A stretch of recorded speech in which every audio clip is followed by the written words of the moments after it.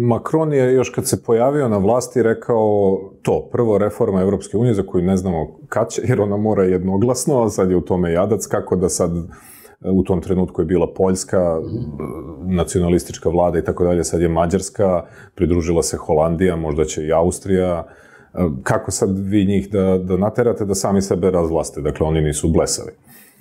A sa druge strane je jasno da je Evropska unija i onako bila previše birokratizovana i spora i da bi tek bila sa još ne znam koliko članica. Pa se potezalo pitanje da li da to bude Evropska unija a la carte, gde sad svako može da se uključi koliko hoće, ali da ne bude sve obavezno, kao što recimo Britanci nikad nisu ukinuli granice, iako su bili deo Evropske unije. Pa se postavilo pitanje da li to da bude Evropska unija kako su oni govorili, kao glavica luka ili koncentrični krugovi gde neko je u najužem jezgru, neko je u širem krugu i nema sva prava. E, ali je činjenica da je taj projekat proširenja odavno mrtav e, i to iz dva, ja bih rekao, jednako bitna razloga. Prvo, ovde na Zapadnom Balkanu, takozvanom, e, nikome ko je na vlasti nije u interesu da se priključi Evropskoj uniji nije mu zbilja u interesu. On prosto onda ima više u, u tom procesu proširenja, ima više stvari na koje mora da, da obrati pažnju, jer sutra treba neko tamo u kampanji u Sloveniji, u Nemačkoj, u Portugaliji da ide i da kaže ljudima vidite treba primimo tamo Srbiju, Albaniju i Makedoniju. To, to su do sad svi političari izbjegavali. To nikad nije, na primjer, Angela Merkel založila svoj autoritet da to kaže. Nikad nije Olaf Scholz sad išao baš da se svađa s Makronom da, da se izbori za to. Dakle, to oni neće prosto da rade. A drugo, Evropska unija, ja mislim da, da ne bi primilo ovaj region sve i da su, da su sad, da je Srbija kao Norveška, Albanija kao Švajcarska, a Makedonija kao Island.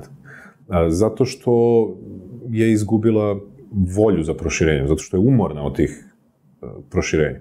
Drugo ste me pitali, da, da li oni gledaju svoj, da, gledaju, mislim, to, to je banalno, pa svako gleda svoj interes.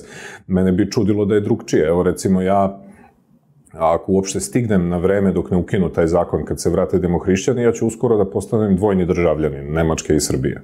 Nikad nisam hteo se odreknem srpskog pasoša, što je do sad bio uslov. Sad su promenili zakon, ali krenula je tolika navala na pasoše da se čeka e, godinu i po dana na termin. Samo da... E, a kad uđu demohrišćani iduće godine na vlast, pošto će ova vlada Olafa Šolca da pukne kao zvečka, oni hoće da ukinu taj zakon. Ako stignem, dakle, bit ću... Znači, tamo nema se lađe neka veza se ode preko reda čovjek da se slika, da se uzme pasoš. Nema, nema. Ne. I, ako, ako budem, dakle, i nemački državljanin, što bi meni kao nemačkom državljaninu bilo bitno da Nemačka u Makedoniji sledi makedonski interes. Sledi Nemački, je li tako? Ne biste ni vi imali ništa protiv ako srpska državna vlast sledi uvek srpske interese, pa ostalom to i zagovarate. E, I nije u tome ove stvar. Stvar je u tome što mi i dalje imamo i to je razlog što bi ja, recimo, na nekom fiktivnom referendumu da je sad u nedelju glasao da se Srbija pridruži Evropskoj uniji. I dalje je, kad mi razmišljamo ovde o normalnom životu, govorimo o svakodnevici, ne govorimo o visokoj politici, govorimo o tome kako izgleda gradski saobraćaj, kako je uređeno eto to kad odete da završite neki dokument, kakvo je pravosuđe.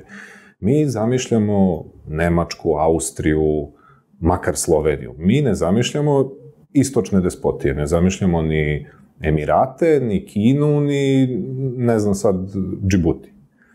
U tome u, u tome Ali, je da li je to da li je to idealizacija Evropske unije? Ma kakva idealizacija? Pa ja mogu sad 7 sati da kritikujem Evropsku uniju. Ali da li su ove stvari bolje tamo? Da li bi mi voleli da je tako? E sad pitanje je da li imamo volje da mi to i uradimo. Ali da li bi mi voleli? Pa voleli bismo.